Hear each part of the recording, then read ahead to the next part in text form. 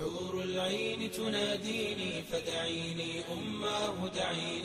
Taymiyyah was born during the Mongol invasion. The Mongol invasion, when none other than Genghis Khan or Genghis Khan invaded the Muslim lands when the Muslims politically were at their pinnacle of success. And Genghis Khan and his children and his grandchildren and his great grandchildren for over a hundred years, all of them brought the whole of the Muslim Ummah to ruins. Ibn Taymiyyah said, O oh my student, whoever fears a creation has a disease in his heart and he does not have true knowledge of Allah subhanahu wa ta'ala. Because if he had the true knowledge of Allah subhanahu wa ta'ala that was the medication for the for this disease in his heart. And do you want to hear a story? Do you want to hear a story that actually proves that Ibn Taymiyyah didn't have this disease of fear to the slightest in his heart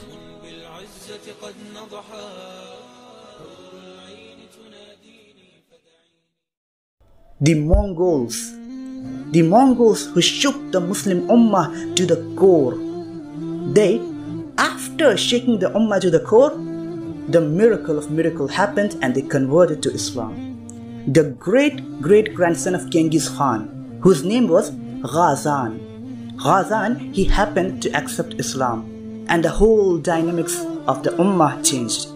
And now, even though he did accept Islam, but his actions were still unacceptable. So Ghazan is nominally a Muslim. He is praying, he's fasting, and he's having scholars with him while he go to war. But his actions as a king are still Mongolian, following his great grandfather. And and I do mean it. His actions are completely Mongolian, particularly when it comes to war crimes and his barbaric activities. So Ghazan has camped outside Damascus and he is threatening to raid Damascus and to make the city fall on the ground and Damascus is the city of Ibn Taymiyyah. And people start to flee Damascus. They believe everything now is lost and Ibn Taymiyyah stands up in the masjid of Damascus and he gives a powerful khutbah. And he asks for a bunch of scholars to volunteer to meet Ghazan. And he with other scholars goes to the camp of Ghazan and say we are the ulama of Damascus and we demand to see your king and they eventually were granted permission. Now the scholars, led by Ibn Taymiyyah, entered the golden tent of Ghazan. There was a special tent for him. Now you can imagine king and the sword versus the scholars and their words. And we all know how barbaric the Mongols were. In history, hardly any dynasty comes close to the barbaric activities of the Mongol dynasty. And as the scholars enter the tent, they are supposed to stand at a certain position, right? Though the king is still sitting on his throne, even inside the golden tent. And the scholars have to stand at a certain position. Now imagine this scene. The scholars enter the tent and stood at the position they are supposed to be standing at, but Ibn Taymiyyah never stopped. He entered the tent and he kept walking straight towards the king and he covered the distance so much that he came so close to Ghazan that his knees were almost touching with the knees of Ghazan. Can you imagine the scene here?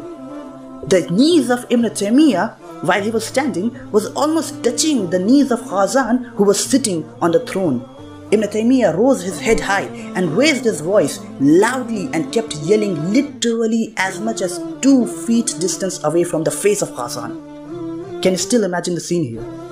He said that you claim to be Muslim and you claim to believe in Allah and His Messenger and you claim that you pray and you fast and yet you kill and rape and plunder and steal and mutilate the corpses and you did this and you did that. Have you no fear of Allah? Have you no fear of Allah? And he said, Your own grandfather, who was a kafir, who was a pagan, was not as bad as you are and he enumerated a number of actions that, that Ghazan did. And the scholars behind were absolutely terrified. Whoa, this is not Ibn Taymiyyah called us for. One of them says, I lifted my robe up so that the Ghazan all of a sudden chops off the head of Ibn Taymiyyah and the blood of Ibn Taymiyyah will stain my robe, so I lifted my robe up. Because I didn't want the blood of such a man like Ibn Taymiyyah's blood on my clothes.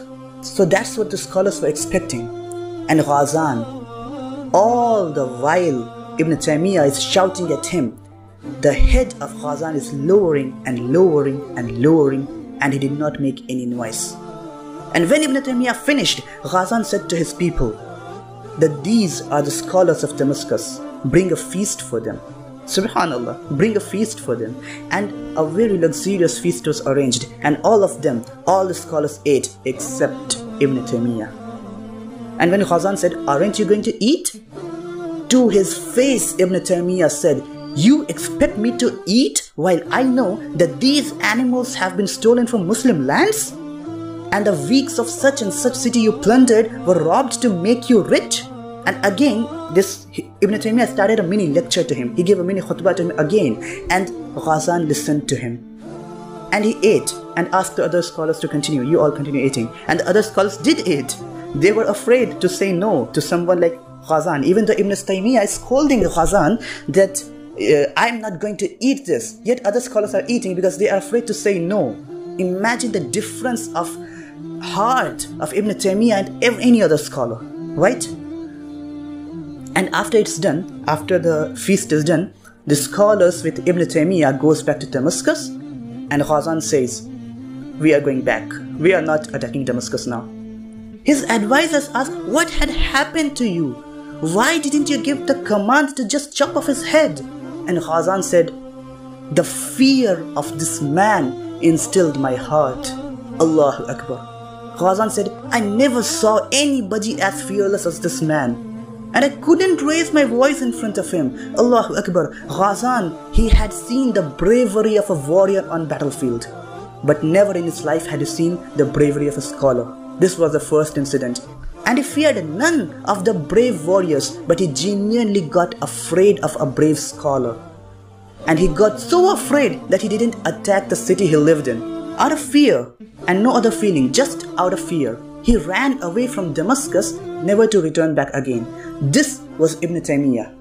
His Jannah was in his heart. What could his enemies do to him? If they killed him, they had granted him Shahada. If they imprisoned him, they had provided him seclusion to worship Allah subhanahu wa ta'ala. And if they exiled him, they had provided him an opportunity to visit the vast land of Allah and contemplate on the creations he had created. What could they do to him?